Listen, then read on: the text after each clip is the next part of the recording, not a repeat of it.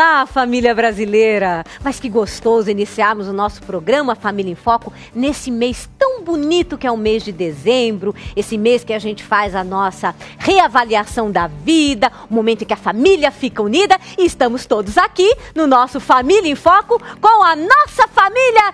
Primeiro vamos apresentar Teco! Oi, Suzy!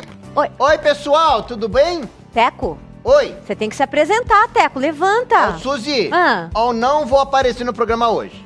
Como você não vai aparecer, Teco? Nós temos um convidado muito especial. É por isso que eu não posso aparecer, Suzy! Por que, Teco? É o Papai Noel! Eu sei, Suzy, minha Ah. mãe, olha só, minha mãe, minha mãe sempre disse, quando Ah. eu era criancinha e até hoje, Ah. que se eu ver o Papai Noel, quando ele vem trazer o presente, ele não deixa o presente. Então eu não vou aparecer no programa hoje. Teco, fique tranquilo. Se isso fosse verdade, o que iria acontecer? O Papai Noel que a gente vê no shopping, o Papai Noel que a gente vê na loja, todas as crianças estão ali e as crianças ganham presentes. Ah, mas você tá enganada. Não. Porque no shopping, Suzy, que que é tem? o ajudante do Papai Noel. Ah, Tá certo? E aqui no nosso programa é o Papai Noel de verdade que tá Uhum. vindo. Então eu não vou sair, eu vou ficar aqui. Teco, olha, vai ser uma pena. Eu queria muito que você fosse educado e se apresentasse pro Papai Noel, porque vai ser uma história muito especial hoje, Teco. Eu vou falar com ele. Posso falar com ele daqui, Suzy? É que eu quero ganhar meu presente. Teco, você vai ganhar seu presente, mas não é educado conversar com as pessoas sem olhar para Suzy, as eu pessoas. não posso sair, Suzy. Para bom, de tá querer bom, me tá enganar. Eu vou ficar aqui atrás. Tudo bem, não tem problema nenhum. Mas eu também vou falar pra você e vou falar pra vocês todos sobre o nosso quadro Faça Junto, que hoje também vai ser especial, que vai ter uma dica muito bacana pra você enfeitar a sua noite de Natal. Teco, você é sabe? verdade, Suzy. Olha, a gente vai, vai falar Sim. do pessoal que tá fazendo uns bonequinhos lindos. Isso! Olha só, eu vou até mostrar. Eu vou aparecer então, Suzy. Você vai Olha eu aparecer. aqui. Teco, você tá mostrando o bonequinho. Mas é o Ai. bonequinho meu aqui, Suzy. Olha só, sou eu, você e o Marcinho. Olha o Marcinho, você e eu. Ai, tá lindo, não é? E a gente vai falar sobre isso, sobre como você pode enfeitar de maneira personalizada o seu Natal com a nossa querida Adriana. A Adriana faz esses bonecos maravilhosos, que são aqueles enfeites que a gente vê pro bolo, não é? Para bolo de casamento, para agora o seu Natal. Ela vai dar umas dicas muito importantes para nós. Você não pode perder. Bom, então você vai assistir o nosso programa assim, Teco? Eu vou Desse ficar- jeitinho? Eu vou ficar aqui atrás, viu, Suzy? Certo. Vou ficar aqui pro Papai Noel não me ver. Tudo porque bem. eu quero que ele deixe o meu presente. Tá bom, se é isso que você quer. Então fique aqui, converse também com o Papai Noel e você em casa também não pode perder, porque a gente vai falar sobre essa figura fantástica, né?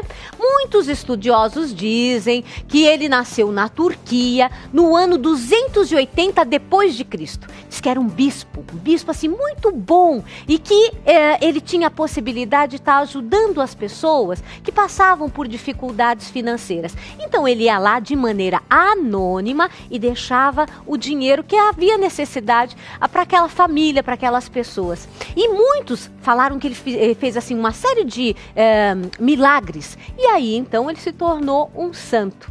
Olha só que história linda, maravilhosa nós temos. E também nós temos vários representantes, como disse o Teco, eh, desta figura tão nobre. E para falar sobre a vida desta pessoa tão especial, eu tenho o grande prazer de receber o superintendente de uma multinacional, o senhor Adilson Medina. Muito obrigada por ter vindo, querido. Ho, ho, ho! Ho, ho, Feliz ho! Natal pra você! Feliz Um Natal! Prazer, prazer estar aqui com você! Suzy. Prazer é nosso. Agora você gostou, não é, Teco? Fique à vontade, Papai Noel. Nossa, olha, como é uma figura tão linda, tão importante e também na sua vida pessoal. A gente sabe que você é uma pessoa muito bem sucedida, Dilson. E eu queria que você falasse a respeito disso. Como é que você conseguiu coadunar esse teu trabalho tão bonito com as crianças, seu Papai Noel, e também o seu trabalho ah, profissional? Bem, eu já estou fazendo Papai Noel já faz uns 13, 15 anos. Nossa, Ah, eu normalmente não faço shopping, quer dizer, eu nunca fiz shopping. sim. Eu simplesmente eu faço festa, porque era a única maneira de eu fazer as duas coisas. Certo. Ah, o ato de fazer o Papai Noel foi um desafio para mim. Como é que surgiu isso? É, foi uma brincadeira que a minha cunhada me propôs. Ah, é? É, eu sempre tive barba, barba branca. Sempre? Sempre, sempre. Uma barba branca, essa coisa toda. E chegou em julho, mais ou menos, ela veio com uma proposta dizendo que que ela duvidasse que eu faria determinada coisa. E eu falei, eu, não, eu faço qualquer coisa, eu não tenho medo de mais nada. Sim. Ela falou, tá aqui, ó, duvido que você faça Papai Noel. E aí? Aí a proposta dela foi essa. Aí eu encarei a proposta. E aí Eu- começou? Aí eu comecei eh, só trabalhando dia 24, fazendo Sim. entrega de presentes. Pra família você começou? Sempre família. Sempre família. Uhum. Sempre família, sempre família. E depois de uns três anos comecei a fazer festas Ah. para empresas, Sim. eh, propagandas, Ótimo. algumas reuniões institucionais, Uhum. que eu falo para chuchu, viu? Que bom! Eu falo pra chuchu. Isso é ótimo. né? E fazer as entregas que continuei fazendo as entregas. Que coisa bonita. Agora, na sua opinião, você acha que. Teco, eu acho melhor você sair um pouquinho, que eu vou falar um assunto aqui muito pessoal com o Papai Noel, Posso tá? fazer a pergunta primeiro, antes de você falar assunto muito pessoal? Tá bom, faça a sua pergunta, O, o, Teco. o Papai Noel Adilson, Pois não, Teco? é o seguinte, nessa época do ano, é a época que você mais trabalha, né? Precisa ter muito fôlego pra aguentar essa sua rotina aí, dessa correria dessa época? Olha, eu não diria fôlego. Eu diria que você tem que ter um, muito boa vontade, é, vontade de trabalhar, sabe, disposição. Porque o trabalho é um trabalho por dia praticamente. Sim. Então não foge muito à rotina. E, e- e normalmente é à noite, nos finais de semana. O- a minha família eventualmente me acompanha. Sim. Meu filho está sempre comigo também. Então, quer dizer, eu transformo nisso numa festa também. Numa Perfeito. diversão também, que isso para mim é muito importante. Com certeza. Nossa, Sus, deve ser muito legal ser filho do Papai Noel. Olha, maravilhoso. Eu queria perguntar isso. As crianças da sua família sabem que você é o Papai Noel? Sabem? Sabem. Sabem. E recebem isso assim, também com aquela alegria, entusiasmo. A, a minha esposa, particularmente, ela não, ela não acredita, ela vê duas pessoas. A minha sogra também me vê como duas pessoas. O meu sogro se diverte. Os meus sobrinhos, eh, alguns até já foram comigo fazer trabalho para ver que, como é que é, para se Iam divertir. como ajudantes também do Papai Noel? Como ajudante do Ai, Papai que Noel. bonitinho. Olha, é um bom trabalho pra você, viu, Teco? Ó, posso me candidatar pra esse trabalho? Ah, pode, pode. Com certeza. Agora, eu vou, Teco, Eu vou na- numa festa com você, então, hein? Olha, e as festas são muito boas, viu? sem dúvida, a alegria que proporciona, né? E, Agora- e esse trabalho que o senhor faz, é, é- é, assim, isso você faz pra ganhar um dinheirinho ou é porque você gosta disso e é satisfatório? Olha, é muito mais do que satisfação. Eu não posso deixar também de falar que financeiramente também é bom. Mas a satisfação em termos de alegria, em termos de consideração. E uma outra coisa que eu sempre me preocupei. Eu falei para vocês que eu levo meu filho, levo os meus sobrinhos, para eles verem as realidades É que existem isso. nesse mundo no qual a gente vive. Perfeito, é verdade. Até para dar muito mais valor àquilo que eles possuem dentro do lar. E também já criar esse sentido de solidariedade, Perfeito, não é? não, é do isso dar sem ter a intenção de receber, simplesmente dar. Agora, Teco, dá uma, uma, uma voltinha aí, sabe? Vai ver se você encontra o Marcinho, porque eu tenho que fazer aquela pergunta muito pessoal aqui pro Papai Noel, tá bom? Tá bom, Suzy, eu vou Até tapar já. os ouvidos aqui. Lá, Isso. lá, lá, lá, lá, lá, Ótimo. lá, lá. Agora, Papai Noel, cá para nós e para o mundo. Você acha que é saudável nós criarmos esse mito do Papai Noel para as crianças, passarmos essa, essa, essa imagem, falarmos que o Papai Noel existe?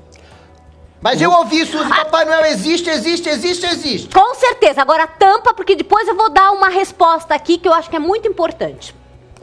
Ah, eu vejo um sentido. O, o que eu notei, e eu já tenho isso em termos de família, é, nessa época do ano, as famílias elas se modificam. Sim.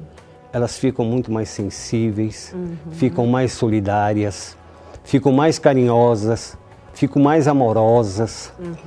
E esse sentimento é importante. Com certeza. Aí ele engaja justamente com a visão do Papai Noel, que é uma imagem lúdica. Uhum.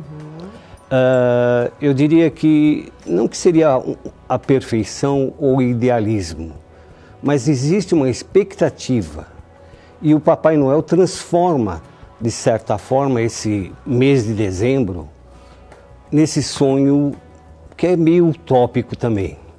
Então isso existe. Eu sou totalmente favorável que as pessoas bem. criem esse tipo de expectativa. Eu também. Porque isso faz parte é, em termos de união de família, uhum. em termos de tradições de família. Uhum.